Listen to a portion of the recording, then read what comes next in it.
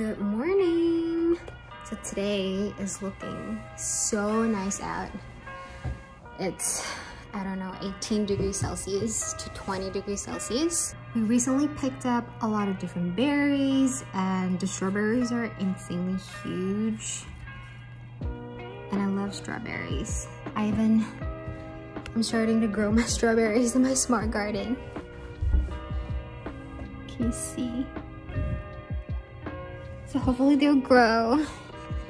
And today I am going to make strawberry latte, souffle pancakes, and avocado toast for brunch. So what a strawberry latte basically is, is um, a layer of strawberry jam, strawberry syrup, and then milk, and you can either put matcha or whatever toppings that you like. So I'm gonna start off by cooking the strawberries.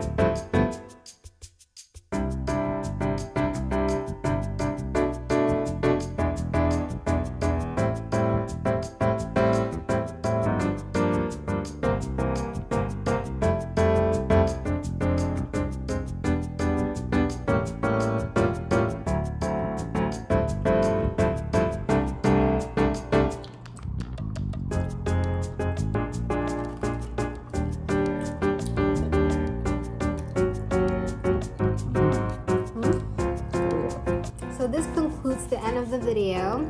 Everything here is very easy to make. All the recipes will be linked in the description box down below. I hope you guys enjoy watching this uh, and I'll see you next time. Bye.